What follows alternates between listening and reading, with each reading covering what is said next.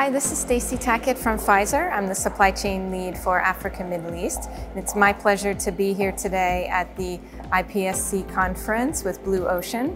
And I've really enjoyed learning about digital innovation, AI, and looking forward to many sessions to come. Thank you.